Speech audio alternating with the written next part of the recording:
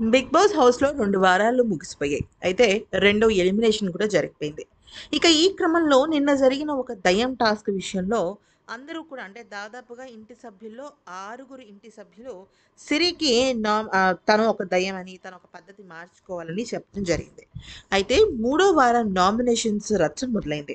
మూడో వారం నామినేషన్స్లో ఎవరు నామినేట్ అయ్యారు అని కనుక మనం చూసినట్టయితే మనకు తెలిసిన సమాచారం ప్రకారం ఐదుగురు నామినేషన్స్లో ఉన్నట్టు తెలుస్తుంది. దానిలో వచ్చేసి అంటే ఐదుగురు నామినేషన్స్లో ఉన్నట్టు తెలుస్తుంది. దానిలో మనకు వచ్చేసి ప్రియా గారు అలాగే ప్రియాంక సింగ్ ఇంకా మానస్ శ్రీరామచంద్ర ఇంకా లహరి. మనకి తెలిసిన ఇన్ఫర్మేషన్ ప్రకారం వీళ్ళు నామినేట్ అయినట్టు తెలుస్తుందండి.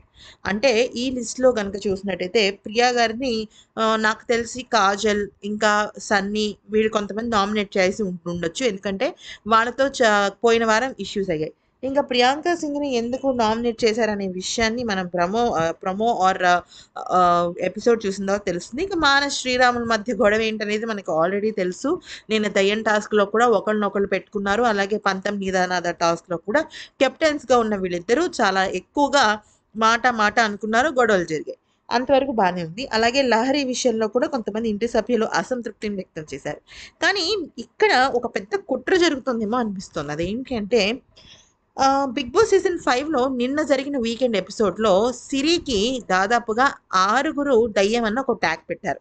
దానిలో ఉమాదేవి గారు బహుశా పెట్టారు ఆవిడ ఎలిమినేట్ అయ్యారు ఐదుగురు దయ్యం అనే పెట్టారు. అలాంటప్పుడు కనీసం నామినేషన్స్లో సిరి లేకపోవటం చాలా షాకింగ్గా అనిపిస్తుంది.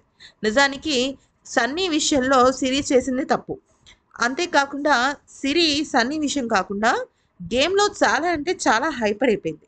కొట్టడము ముఖ్యంగా గట్టి గట్టిగా అరవటము లేనిపోని నిందలు వేయటము. అంటే ఆటలో హైపర్గానే ఉండాలి కాదంటలేదు కానీ ఇంటి సభ్యులందరూ కూడా చిల్లర కారణాలు చెప్పే బదులు సిరి నువ్వు నీ పద్ధతిని కొంచెం మార్చుకుంటే బాగుంటుందని కనీసం ఒక ఒక నామినేషన్స్లో కూడా వెళ్ళకపోవటం చాలా ఆశ్చర్యంగా ఉందని అనిపిస్తుంది. అంతేకాకుండా సిరి విషయంలో బహుశా బిగ్ బాస్ ఏమైనా అడ్వాంటేజ్ తీసుకుంటున్నాడా ఎక్స్ట్రాగా అని కూడా అనిపిస్తుంది. మరి ఈ వీడియో కనుక మీకు నచ్చినట్టయితే లైక్ చేసి షేర్ చేయండి.